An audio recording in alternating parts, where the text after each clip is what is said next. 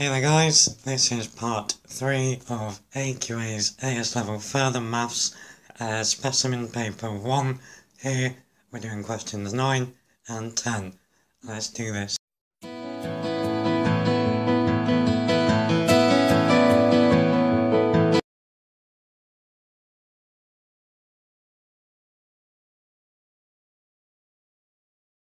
Okay, question 9a wants us to sketch on the Argand diagram down below the locus of points satisfying the equation mod of z minus 2 is equal to 2. So, hopefully, we've all seen this equation of a circle before. Mod of z minus z1 is equal to the radius of the circle where z1 is the center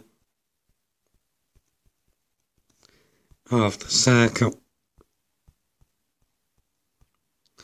So, if we compare what we have in the mod of z minus 2 to mod of z minus z1, we can see then here z1 is equal to 2 plus 0 i. So there's no imaginary part here to the centre of the circle. So this then is a circle centered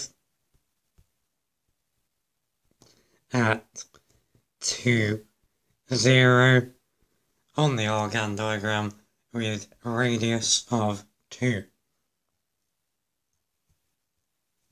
So that's going to look something like this chap here. So here's our centre at 2, 0. My big idea to label this point up here above. So that's going to be 2, 2. And then this one down below is going to be 2 minus 2. There we go. Jobs are good for part A. Okay, then part B says, given that mod z minus 2 is equal to 2, and the argument of z minus 2 is minus pi over 3, we want to express z in the form a plus bi, where a and b are real numbers. So for this, I'm going to do most of the working out, if not all of it, on the diagram that we just drew. So, we know that the complex number z minus 2 lies somewhere on the circumference of the circle. This is the locus of all points that satisfies mod z minus 2 is equal to 2. Now we're told the argument is minus pi over 3. So that means the vector z minus 2 comes out from the centre of the circle to a point below the x-axis and that again is because we have a negative angle. So this is our complex number z minus 2. Now what we're going to do is turn this into a cheeky right angle triangle. So now we can find the x and y coordinates. So I'm going to put in minus pi over 3. That seems a bit weird to have a negative angle, but that is the argument. That is what we substitute into our trig parts. So, using Pythagoras, we know that x, uh, which would be the adjacent to that angle. And don't forget, we also know the radius of our circle, which is also our hypotenuse, is 2. That's the length of our vector of our complex number. So our hypotenuse is 2. So we also know we can call this horizontal distance x and the vertical distance is y. So using SOHCAHTOA we know that uh, cos of minus pi over 3 is equal to the adjacent over the hypotenuse. So that is equal to x over 2. Therefore, I'm going to write it down here, x is equal to 2 cos of minus pi over 3. Now, doing the same thing for y with SOHCAHTOA, we know that sine of minus pi over 3 is equal to y over 2. So, very similarly, we get y is equal to 2 sine of minus pi over 3. Now remember, z minus 2 is a complex number, so z minus 2 would be x add i y. So z minus 2 is 2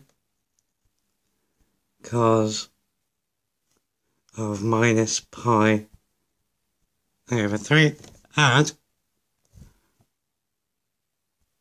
2i sine of minus pi over 3.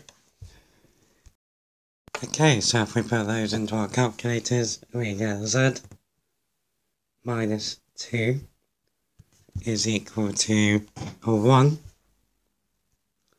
minus root 3 i. So that's what z minus 2 is equal to, but we don't want z minus 2, we want z. So the last thing we need to do is add 2 we get z is 2, sorry, 3 minus root 3 i. Jobs are good. Okay, question 10a is a bit of a monster. So we want to prove that 6 add 3 lots of the sum from r equals 1 to n of r plus 1 times r plus 2 is equal to n plus 1 times n plus 2 times n plus 3. So it's going to be a nice big test of our algebra skills. First of all, we are only going to worry about what is inside of the purple brackets. So we're not worrying about the 6 at the start, nor about the fact that sum is being multiplied by 3.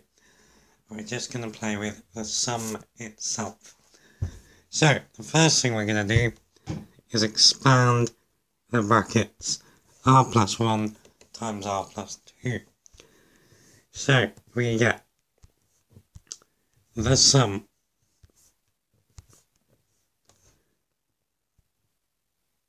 from r equals 1 to n of r squared plus 3r plus 2. Now, we can split that into three separate sums. So a sum of the square term, a sum of the r term, and also a sum of uh, all the 2's that we're going to get. So we can write this as the sum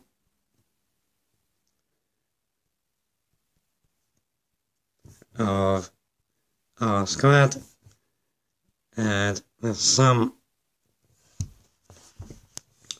uh, now we could write this as the sum of 3r but we can take that 3 out and say it's had 3 times the sum of our from uh, r equals 1 to n and then we've also got the sum from r equals 1 to n of 2. Good times. Okay. So, now we need to plonk in our definitions of each of the sums. So, the sum of squares uh, is n over 6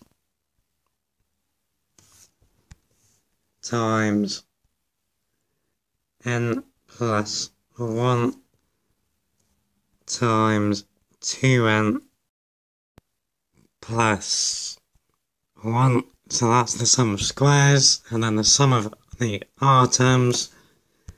And remember we've got that 3 on the outside, so that's going to be add 3n over 2 lots of n plus 1 and then that final term at the end we're adding on n lots of 2 so that just becomes 2n so that at the moment is our sum of r plus 1 times r plus 2 Okay, so now that we've got that, we're going to start getting the other stuff in the whole sum involved. So remember, this sum was being multiplied by 3. So what I'm now going to do is multiply what we've got by 3. So this is going to give us then 3 lots of the sum of from r equals 1 to n of r plus 1 times r plus 2. So, if you multiply n over 6 by 3, you get n over 2. So we've got n over 2 times n plus 1 times 2n plus 1. And then 3n over 2 times 3 is 9n over 2.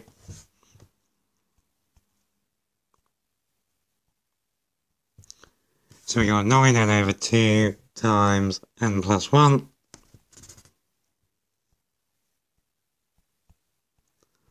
And then at the end, that 2n or multiply by 3 to give us 6n.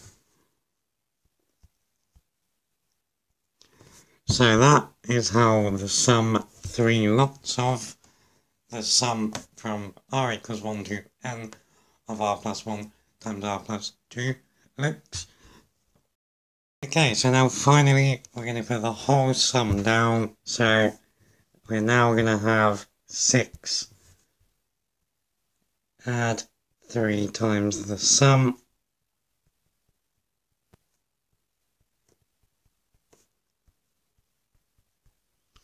So, this is going to be exactly the same as what we just wrote down.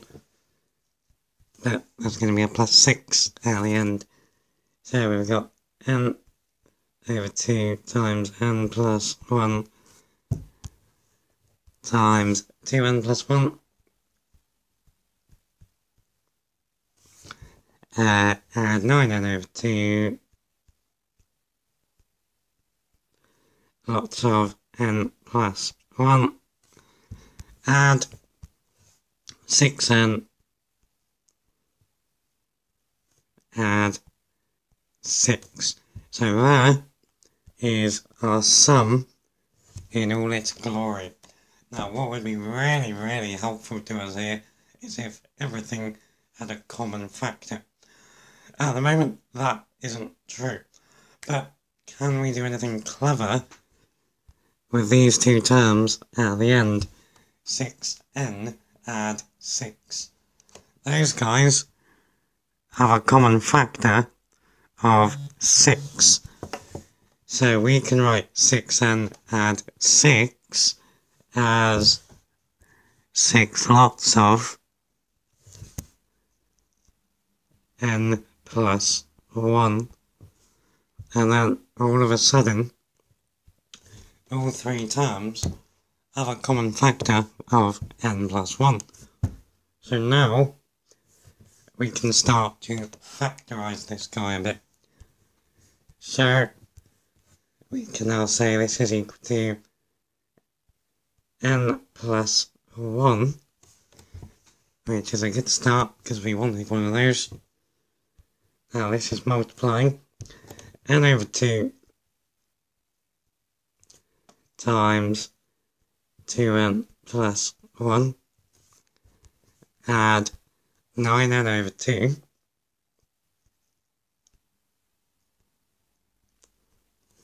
add 6